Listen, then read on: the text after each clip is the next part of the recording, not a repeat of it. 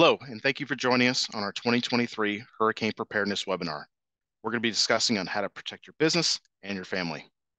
But first, let's take a moment to review some legal considerations.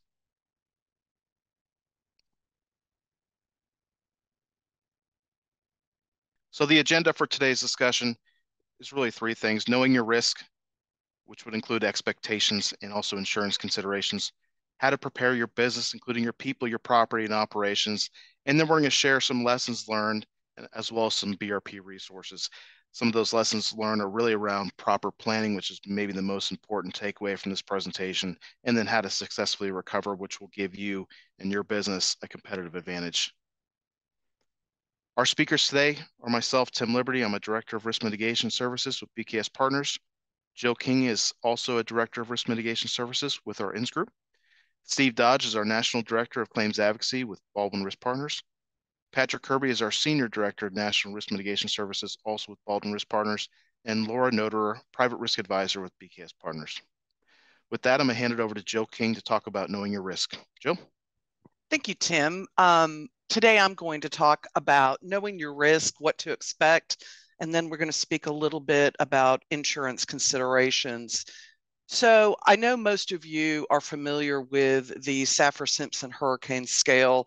Um, it's designed to give us ratings on what expected damage could be um, in a hurricane. Uh, I'd like to point out here, of course, the hurricane category number four and five. Um, Hurricane Ian, which we'll discuss in a moment, came in um, as a Cat 5, uh, but landed uh, at a Cat 4. Again, we can see beach homes flooded, homes destroyed. And then also with Hurricane Harvey, uh, we're going to talk about that. And it came in also at a Cat 4. Um, part of knowing your risk is knowing where the most vulnerable US locations are. Florida and Texas, both on the storm surge and then likely to be hit by a major hurricane. Um, Southeast Florida and Southeast Texas uh, seem to take the prize.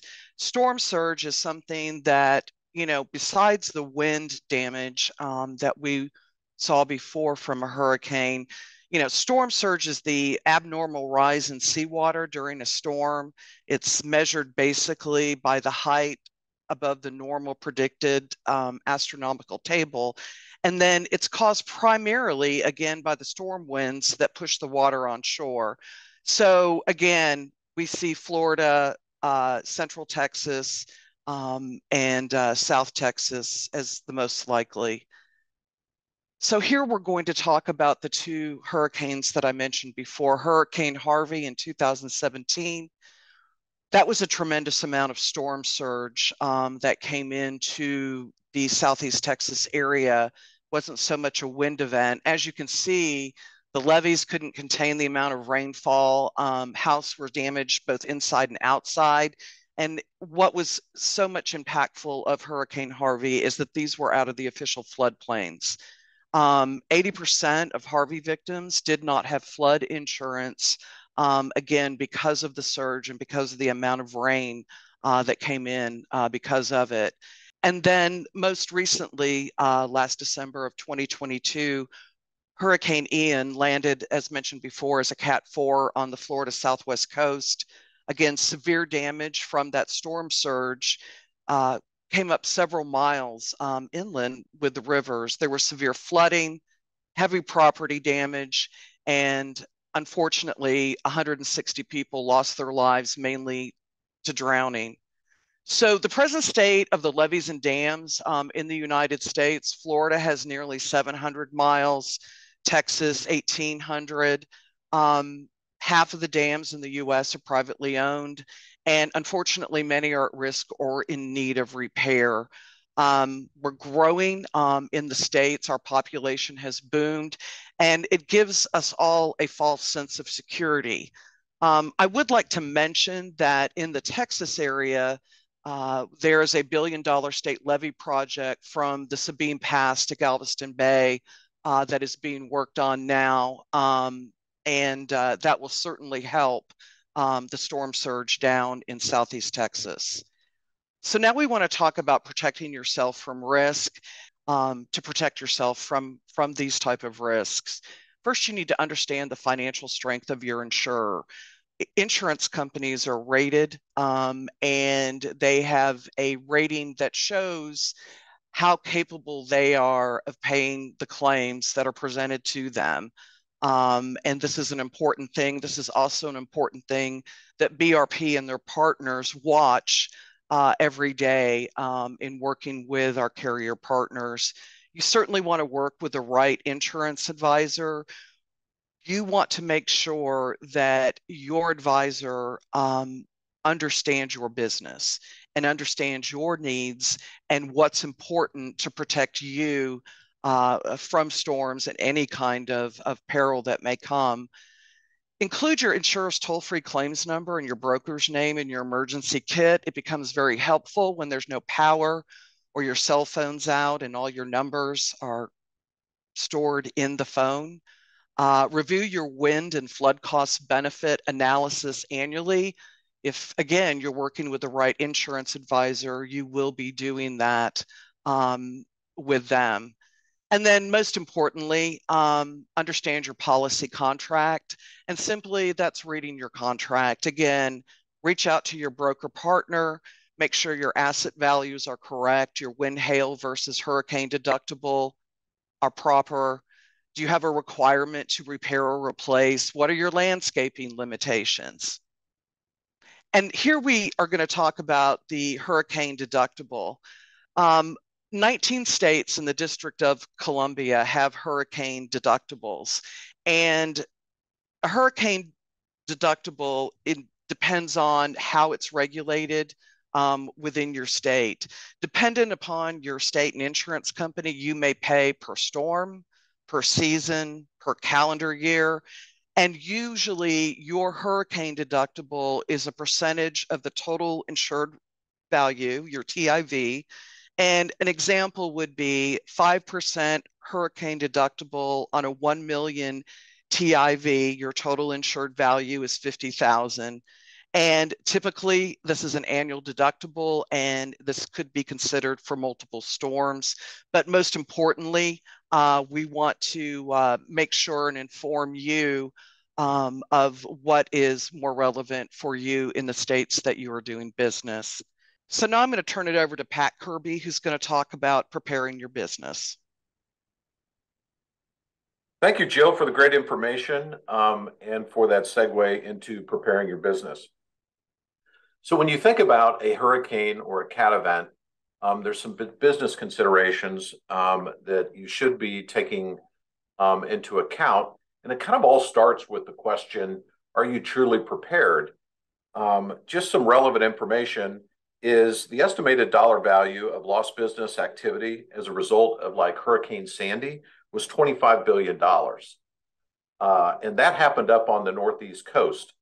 Um, almost 40% of small businesses never reopen their doors following a disaster. And it's just because of a few, sometimes a few inches of water that causes tens of thousands of dollars uh, to your property. Keep in mind that planning ahead can save thousands of dollars in lost revenue due to structural damage or content damage, interruption um, business operations, or just your employee displacement who um, you know your employees may not be there at a time when they need to be. And it can also be an opportunity to increase revenue and build brand loyalty. So we'll talk about those things um, in the um, in the ensuing slides here but i want to you to pay particular attention um, to the three main areas um, of emergency preparation and response. We should be addressing people, property, and our operations. And as a last resort, um, kind of the foundation of those three when things really go awry is your insurance policy. So let's start with people uh, preparation and response. Um, and I'm going to kind of start at the bottom of this slide and talk a little bit about what we should be considering prior to a storm, during, and after a storm. So, prior to a storm, we should be prepping the building. We should be identifying potential secondary business locations where we can um, conduct business after a storm in case our primary location is inaccessible or damaged. Uh, we should be reaching out and contacting clients and vendors um, as well. During a storm, we should be monitoring our property if it's safe to do so, monitoring the storm and disseminating any pertinent news and instructions to our employees and our clients. And then after, we should be taking a look at an operations assessment, contacting clients and vendors, and then resuming or making plans to resume our operations. So some of the key pieces of that preparation and response, response is to establish communication and procedures and, and protocols ahead of time and conduct employee condition assessments um, ahead of time to monitor their welfare and status um, during or after the storm and then determining who will who will need to carry out preparations in response so it's a very good idea to categorize categorize your employees based on um, your needs prior to during and after a storm and educate them on a having a personal hurricane plan. One of the one of the things I'd like to mention about a personal hurricane plan is if you've identified your employees that need to be there, they're critical for reopening your business after a cat after a cat event or a hurricane. We really need to make sure they have their own plan so they're actually available to be able to come in and help the business reopen. Um, all right, continuing on with people and talking about preparation and response, how many of us want to pause in our ability to pay our employees? If the business is not in operation or will not be for a period of time, will we pay our employees anyway, even if they are not working? And if and for how long? Can they use sick days? Will they require? Um, will we require them to use uh, things like vacation days or PTO? All of this should be decided upon and communicated prior to a storm. And what about employees' obligations to the business? I talk about that a little bit on the previous slide. Have we defined and have we defined what those obligations are and what they're required to do? Will we provide our employees with any uh, assistance like food, water, clothing, fuel, uh, baby formula? Remember, many employees could be without power uh, for extended periods of time and limited access to these necessities. And sometimes businesses have the means to help them and it's in our best interest not to just help other people, but also it's in our best interest to help others that may be able to come in and help us uh, reopen our reopen our operations. In addition to that, uh, if you decide to do many of those things, you want to obtain fresh emergency supplies for your employees, not only at the uh, business location itself, um, but potentially give out hurricane packets to your employees ahead of time for home use. And then once you've established some of these communication protocols and emergency policies and procedures like call trees or operations and damage assessments um, or backup operations, it's a good idea to practice those and do some tabletop exercises um, with yourself and your employees. So now I'm going to hand the presentation over to Tim Liberty, our Director of Risk Mitigation Services at BKS Partners, who will talk to you about property. Thanks, Pat. Yeah, so I'm going to take a little bit more in-depth look at preparing your property. The first step is to know the vulnerability of your business. Each business is different and may present some unique obstacles. That could be your location. You might be in a, a flood-prone area, or you, maybe you're relying on subcontractors and vendors. You got to think, are they prepared for a catastrophic event? Is your employee base located in vulnerable areas? And will they be able to get back to work quickly post-storm or post-catastrophic event? Maybe you have a fleet of vehicles. Think where they're located. Will you have access to them post storm? Maybe you're located on an island where there's a bridge is the only way on or off the property. We saw a few bridges in the past collapse, making recovery really, really difficult for homeowners and businesses. Then you have your equipment. I highly recommend that you take time to list all of your major equipments and furnishings. That includes make and models and serial numbers. And I'd also recommend uh, taking either video or photos of them as well this will make the claims process much, much easier. Most important thing you can do though is to have a plan. Have a plan to mitigate the damage to your property, uh, which I'll get to more in, in the next few slides, but have a plan to recover and get back in business quickly post-storm. This can create an enormous competitive advantage by being the first business to open your doors after a catastrophic event. We saw some clients in the past who had the best years in their history during uh, right after a catastrophic event because they did a great job of planning and they were the first ones to open their doors or they adapted their business models to meet the needs of their community. And I'll share some examples in the lessons learned section in a few minutes. All right, on this slide, we have some tips to get your property ready for a hurricane. The most important takeaway, though, is to do these things safely. Don't send someone onto a roof it isn't, if it isn't a flat roof or if they don't have the ability to tie off. We don't want our employees getting injured prior to a storm or ever really. But if it is safe to do so, have someone clear the gutters as well as the roof of any debris. The idea of our gutters to make sure that water is flowing properly away from our buildings. Same thing for satellite dishes and other equipment. Go if we can get to the rooftop safely, make sure it's secured down correctly.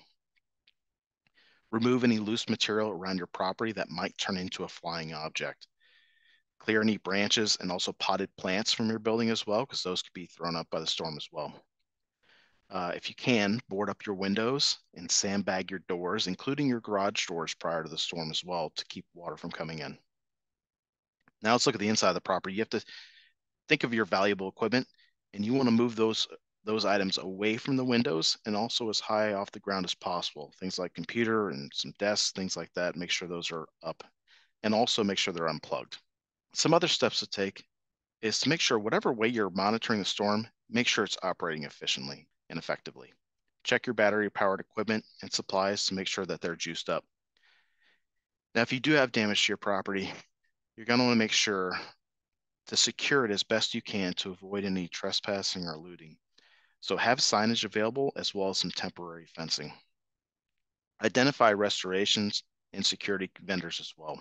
This is going to be one of the key takeaways from the presentation is having these contacts with uh, these type of companies is incredibly important in getting best results. Any hurricane is going to bring a lot of property claims to an area and remediation companies um, are going to be inundated with calls the better relationship you have with a remediation company, the more likely it is that you're going to receive preferential treatment.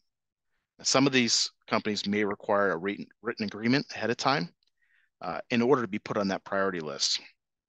If that's the case, make sure you read it thoroughly, research the firm, and make sure that they are reputable and run that agreement by legal counsel. Many of these companies offer pre-loss assistance such as boarding windows and sandbagging as well. So it's really important to, to incorporate them into your pre-loss and your recovery plans. All right, now I'm going to hand it over to Steve Dodge, who's going to discuss proper recovery. Steve? Thanks, Tim. At this point, I'm going to pivot our discussion to some key areas of focus, along with tips, reminders, and strategies to assist with property recovery, as well as your operational preparations and response. For property recovery, you'll first need to complete a post-storm damage assessment. A point person should be assigned to lead your recovery efforts. That point person will be your quarterback to help you navigate communication and information sharing between the key internal and external partners. First priority is to evaluate the ability to safely re-enter the property. If there are any concerns around, around potentially dangerous conditions, you should notify the local authorities immediately. Some examples of those conditions might be any downed power lines, submerged electrical components, and if the structure of the building appears to be impaired at any level. You will need to communicate these appropriate restrictions, or if you need to eliminate access to the property while further assessment by the appropriate experts are completed. It is also key to remember early reporting of the damage to your broker or insurer is needed to begin engagement with your partners to aid with resources needed for remediation and restoration efforts. After the broker and insurer are on notice, you will work with your partners to ensure that you have the appropriate recovery strategy. If needed, notify and procure a secure security company they can assist to provide oversight and protection to your assets and property that might be exposed during this recovery process. Notifying your vendors of needed repairs for them to evaluate the scope of loss and remediation efforts needed for your recovery. Working with your partners to establish a timeline to complete repairs. This timeline is going to help keep all parties on the same page with responsibilities, next steps, and helping set expectations. We recommend that you schedule a reoccurring conference call with key stakeholders and parties to maintain open communication lines and to keep on top of this timeline. Initially, those calls will likely be more frequent, and as the recovery progresses, you can begin to scale those back and, and reduce the cadence of those calls. Some items to make sure you're discussing at these meetings are the current property condition, the progress of repairs and next steps, employee status, ensuring that there aren't additional questions or concerns to make sure that they are also taken care of appropriately, and any needed communication or updates with clients. The next part of this discussion is around your operational preparation and response. As a matter of best practices, we recommend you do as much of the following as possible. Review and update your business continuity plan on a regular basis, including ensuring that all key stakeholders are current, have visibility to their roles and expectations. Verifying critical vendors business continuity plans so that you know they can be in the place to respond to your needs at the right time. Evaluating the possible impacts on and opportunities for client and customer services. In the table below on this slide, we've listed seven best practice components to consider within your plan. You'll remember that we touched on some of these previously in our review of the property recovery process. Mm-hmm. Those would be direction and control, communication, life safety, property protection, community outreach when able, recovery and restoration, and of course, implementation and maintenance. On this slide, we're going to talk about a few actions and strategies we feel are important for you to consider ahead of time and to make sure that they're updated. Keep a list of one pager of important items, such as telephone numbers and contacts, and again, making sure that those key stakeholders are, are current. Account numbers, uh, so they're easily accessible, and addresses as well. You also would want to consider scanning hard to replace documents um, so that you are able to, to access them um, a little bit easier when you need them at the most critical times things such as legal contracts, insurance documents, and tax returns. Keep original and or duplicate uh, records in places where they can be safe, such as bank safe deposit boxes. Off-site storage can be very helpful. Waterproof containers can also assist in those times. And when there is an opportunity, it's a great idea if you can look to partner and coordinate post storm recovery efforts with other local businesses. It is important for you to have at least a high level understanding of your insurance coverages, and you can work with your broker as part of your regular review and update of your pre and post storm plans. It might even be good to have this included as one of your lists or as a separate document. Here are some items to keep in mind. A high level awareness and understanding of coverages and resources you are afforded in the event of a covered loss. Your policy deductible contribution and any special provisions or other specific loss reporting provisions within your policies. Flood coverage and your property or property values and if available, your business interruption and any relevant time relevant coverage details for the period of restoration.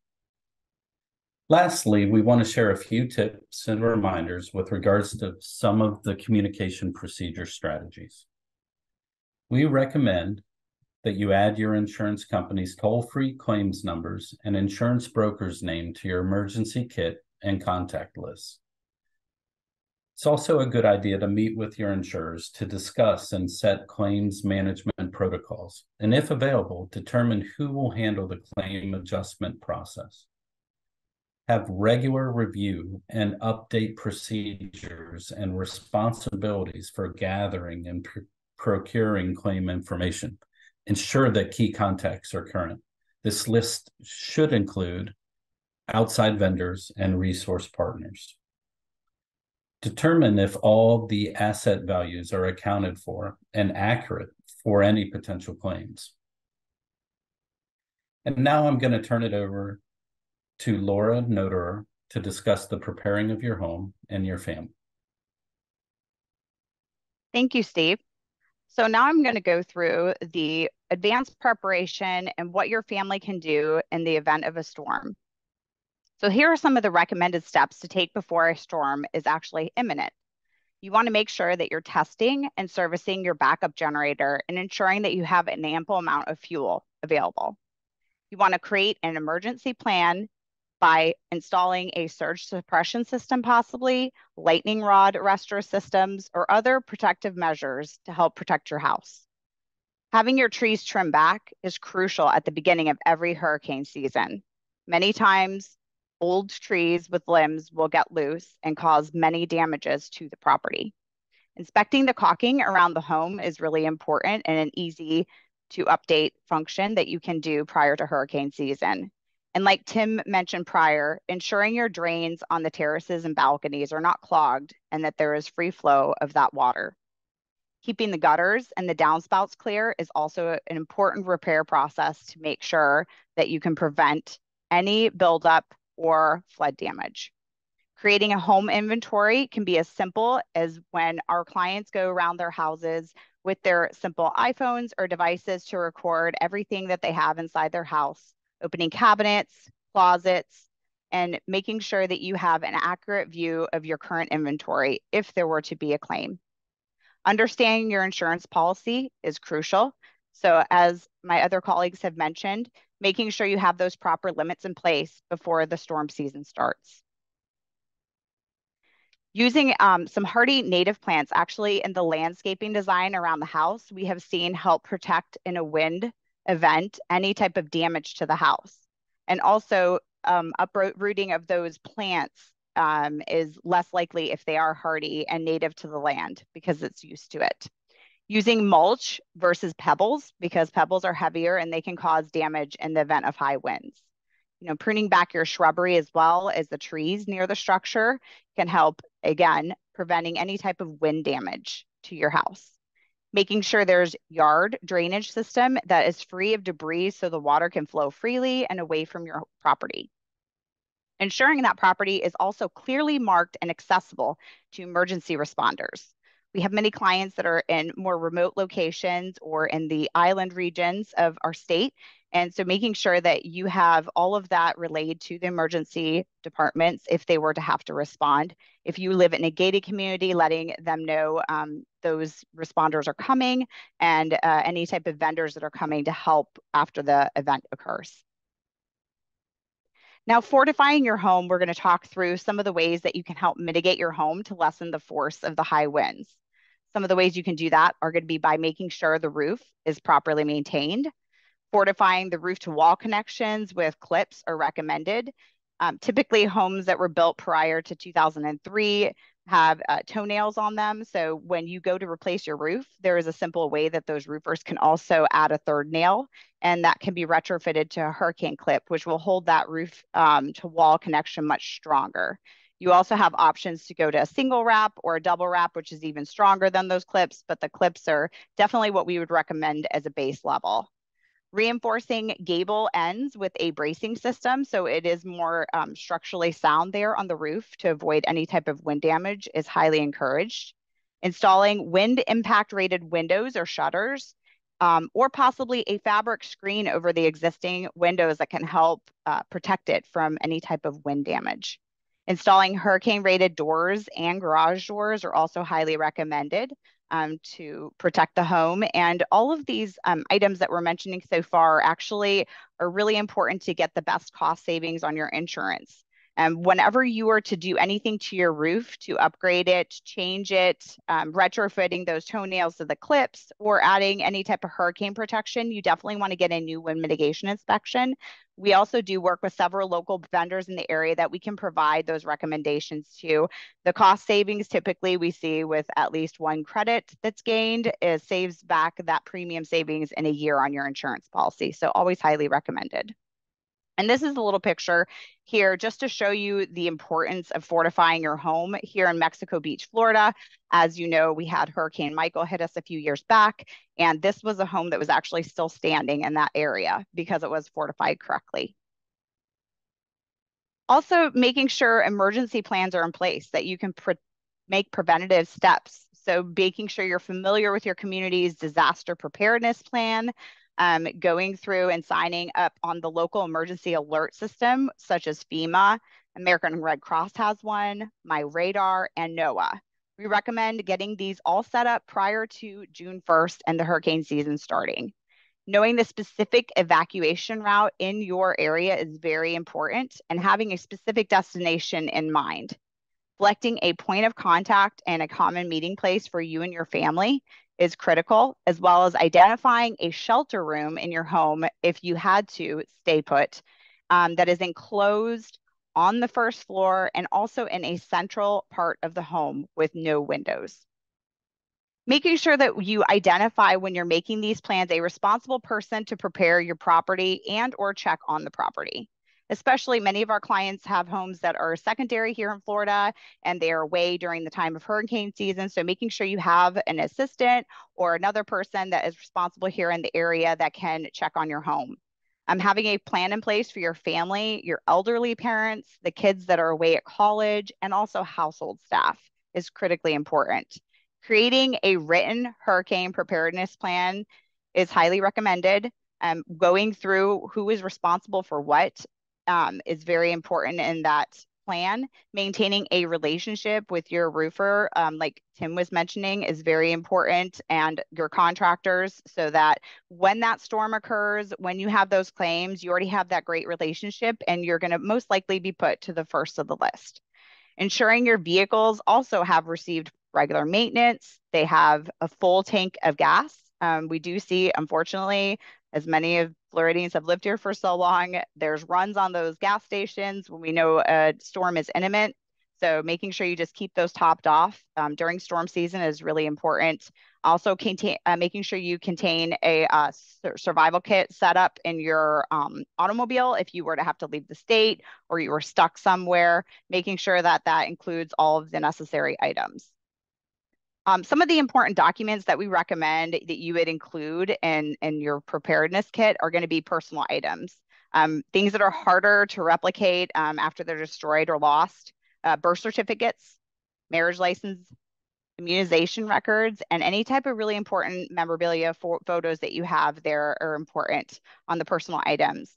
As far as financial documents, stocks and bond certificates, critical account numbers, and your latest income taxes. Insurance documents to include would be copies of all your policies, appraisals, home inventory lists, and pertinent contacts. Some of the legal papers to also include would be deeds, titles, wills, passports, POAs, custody papers, and divorce records. Some of the ways that you can secure your valuables in the event of a storm are going to be considering your artwork, your jewelry, your silver, wine, furs, or any other valuable collectibles. Making sure you store those valuables in a secure location and have an evacuation plan for those valuables. Maintaining an inventory and also having a current insurance valuation for each object is highly recommended, as well as just keeping up with the, the market value appreciation of those items. We typically, on the private risk end, recommend clients keep a, a appraisal every two years updated for their items. And if you have a valuable um, conservator, any type of jewelry appraisal, keeping those good relationships are important so that they can help you keep those updated in those inventory lists. Making sure you inspect the conditions of the, the house and engage any service providers that you might need as a conservator moving those um, special items. Um, it's really important that, especially in light of your insurance, if you do have coverage for these valuables, many of the policy contracts require you to use a licensed mover if you're going to move those items, especially artwork. So making sure you read through that contract with your advisor and understand that properly. Making a supply kit. Some of the items that you can store, we recommend most of those be in a re water resistant container.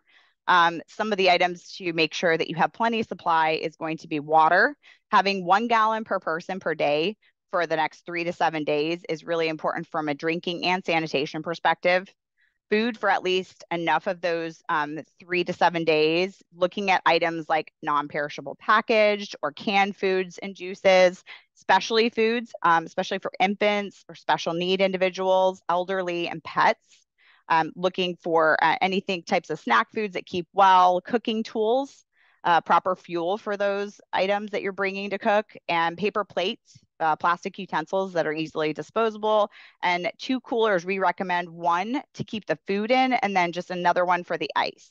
Keeping on hand cash and at least like a 300 to a 500 dollar various increments um, because many times we do see ATMs lose power, they're not available, um, and it, it, many times can be for a much more extended time than even when the storm passes first aid kits, um, including medicines that are important, making sure you have at least a two week plus supply of any prescription drugs.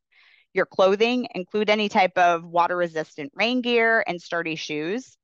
Having many flashlights available, especially with extra batteries, and one for each family member. Now, since um, just kind of falling up to the COVID um, pandemic that we did have, also bringing that into consideration when you're preparing your supply kit.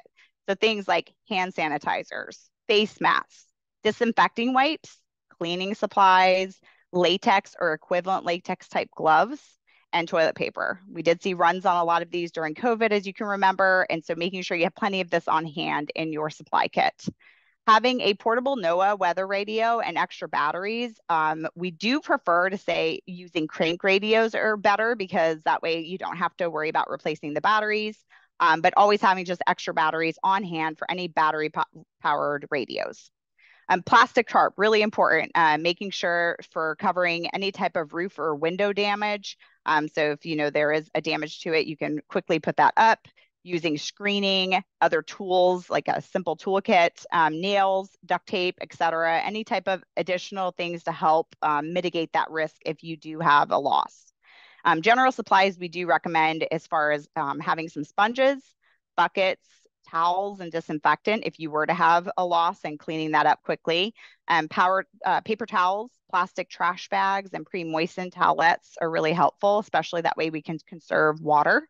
Um, having a whistle to signal for help um, is helpful, as well as um, having a dust mask to help filter any type of contaminated air, um, plastic sheeting, and duct tape tools, including a wrench or pliers to turn off those utilities, cell phone with chargers, inverters, or solar char chargers are really recommended. That way you can keep that, that power and that communication line open, as well as a camera. Full tanks of gas and local maps in the event you need to evacuate the area are really helpful as may our cell phones and our web internet may be down at the time. So having those um, paper maps are critical. Uh, preparing the outside of your house when the hurricane is actually very imminent and um, right at hand is to remove all of your patio furniture, any type of planters, sculptures, like outdoor decorations from the yard, and storing it inside a contained structure such as a garage or the house. Um, including any large light fixtures that could come loose, sconces or ceiling fans, anything that you can think would become a projectile in the event of a storm, you want to remove and take inside so it's protected. Um, tying down the large items that you cannot move is highly recommended. Securing um, fireplace dampers and flues so um, the water cannot get into the house from the chimney. Um, placing blankets around that and also using stretch wrap in front of the fireplace to reduce further damage if there were a leak filling your fuel supply for your backup generator, like we talked about before, making sure that's there and available. Vehicles, you want to move those to a safe area, um, preferably in a garage away from trees. Um, some of the things we learned from last year's hurricanes and the prior were that many people left their cars in place at their garage. So having a contract that actually can move those out to a more higher safe place would be recommended. Um, and also, if you do park it in a garage, make sure you park it on an upper level. And we did see some people move their cars, but they still left them on the lower level, so it did they did experience flood damage.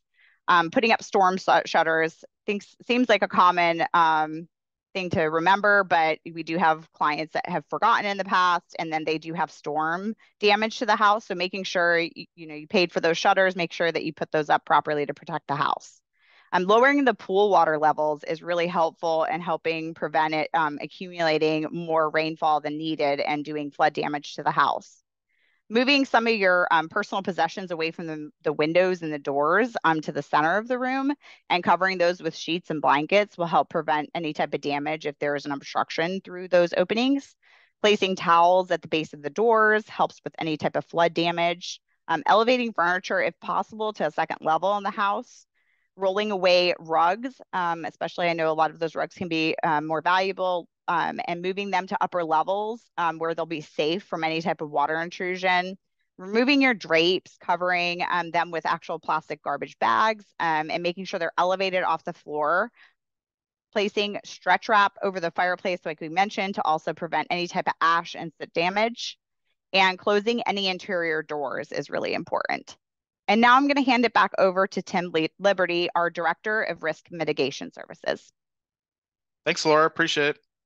So one of the best ways I find to learn is from mistakes, but I generally prefer to learn from other people's mistakes rather than my own. So let's talk about some of those mistakes we've learned and also some of the successes. So I hit it on it earlier, but taking time to have a proactive vendor management is huge. We had clients who had those relationships in place, and we really saw how smooth the claims process was after a claim was filed. Others that didn't have those relationships in place were scouring Google or calling 1 800 numbers trying to get on a list for service. And when there's that many calls coming in, it could take days or weeks, especially on the residential side. Many restoration companies really just focus on commercial claims post storm because those claims are generally larger and more profitable for remediation companies. So build those relationships well in advance of an imminent hurricane. Having a good, good business continuity plan is also key. Make sure you have a team of people who know the plan and can execute it, especially if you have a key leader who knows that plan and they have their own issues to worry about if they had their own homeowners claim. So make sure you have a committee of people who know the plan and can execute on it. Understanding policies is also a lesson learned. Policies are changing often in our industry, and insurance companies really aren't inclined to discuss hypothetical situations. So we and we as a broker, we're not able to determine coverage, and that determination needs to come from an insurance company adjuster. And that can be incredibly frustrating for us and for our clients when there's new policy language that really hasn't been tested and we have to wait for coverage determinations that take often longer than we want. We saw this in the past with some language around debris removal, spoilage, tee and green coverages uh, for our golf course clients. In past storms, we saw massive power outages, but many of our businesses didn't sustain real physical damage. Some of them were surprised to learn that service interruption is not normally triggered without physical damage to your property. Then you have your name storm deductible.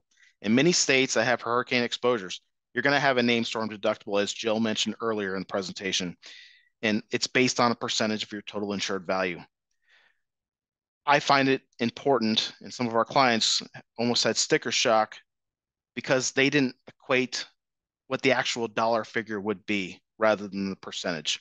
It's important to know what that dollar figure is and make sure that you're budgeting appropriately for that hurricane deductible. Lastly, I want to share a tale of two restaurants.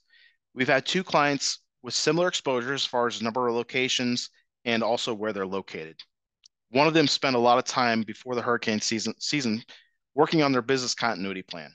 They had relationships in place with refrigerated trucks, and fortunately for them, didn't lose any food at all after the storm hit. They had zero delay in being able to prepare food as soon as their employees were able to get back to work. They also had an agreement in place uh, for to rent a food truck, and were able to get out to some nearby communities who were without power. And I, I believe they also said that they uh, gave some free food away to some linemen and um, electrical workers. So that really showed some um, goodwill for them. Um, the other restaurant, unfortunately, didn't have as good of a plan and had considerable spoilage. And they admitted to us that they probably got back up and running a few weeks longer than what they should have.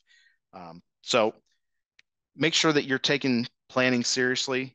Uh, like I said before, it really is going to give you a competitive advantage. All right, to help you prepare, we have some websites with some really good information on how to prepare and respond post-storm. Some of the tools that we mentioned in this webinar are located here. And lastly, if you have any questions, please feel free to reach out to us at info at baldwinriskpartners.com. Thank you for joining us and stay safe this hurricane season.